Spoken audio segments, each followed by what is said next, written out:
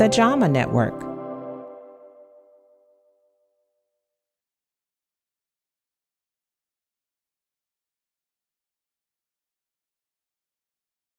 Hello, my name is Derek Angus. I am professor and chair of the Department of Critical Care Medicine at the University of Pittsburgh School of Medicine.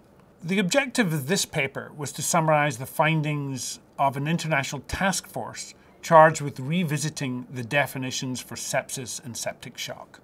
The rationale for this work was that the last definition was now 12 to 13 years old, and since then there had been a lot of changes and advances in our knowledge about the pathophysiology and the epidemiology of sepsis worldwide.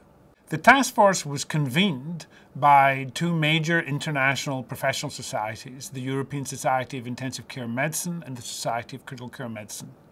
Those two societies charged two co-chairs, Mervyn Singer from University College London and Cliff Deutschman from North Shore University in the United States to convene a task force which ended up comprising 19 experts from across the world with diverse interests in basic translational, clinical, and epidemiologic science relating to sepsis and representing the specialties of critical care medicine and infectious disease. The task force convened about beginning about two years ago, and then through a series of in-person meetings and correspondence by email, engaged in an iterative process to both examine the old definitions and explore uh, opportunities for improving the definitions.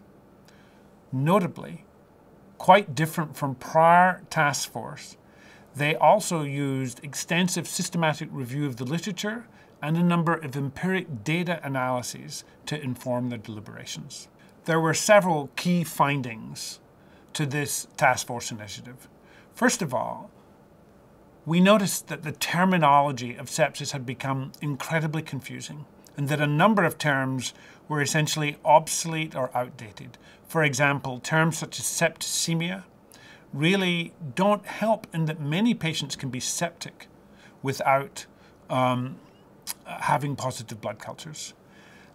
In addition, a term that had been used a lot, SIRS, or the Systemic Inflammatory Response Syndrome, really was not very helpful because one, it's not actually conceptually true that all sepsis patients mount an aggressive hyperinflammatory response, nor are the clinical criteria of SIRS particularly helpful in diagnosing patients with sepsis. The second thing was we felt it was helpful to try to have an updated overarching conceptual definition that better explained exactly what sepsis is. That definition is that sepsis is a life-threatening acute organ dysfunction secondary to a dysregulated host response to infection.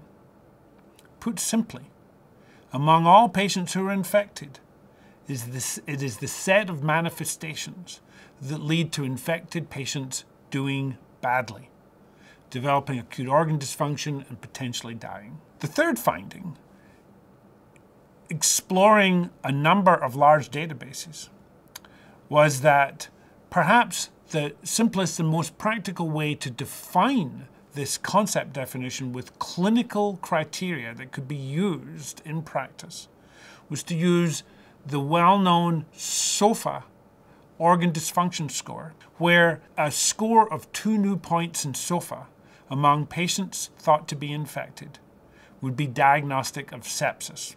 This score is of course most practical to apply when all the data are available, which is most typically, for example, in an ICU setting.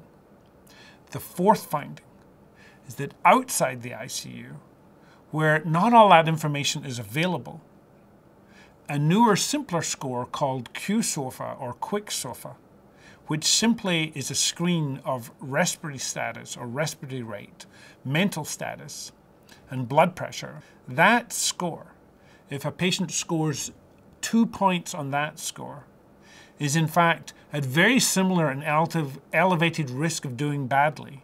And so we're calling that a screen for sepsis where if someone is infected or suspected of infection and they score positively on QSOFA, then they should be considered to get a full SOFA score, be admitted to the ICU, or otherwise placed under close supervision and managed very carefully because they are at high risk of doing badly. The subset of sepsis, septic shock, is more easily and consistently measured by searching for hypotension in the absence of hypovolemia, in other words, hypotension that persists after fluid resuscitation, and in the presence of ongoing signs of hypoperfusion, most notably a lactate of greater than 2 millimoles per litre. Our conclusion with regard to these four or five findings is that we believe that this represents our best understanding from consensus deliberation and extensive examination of multiple very large electronic health record data sets.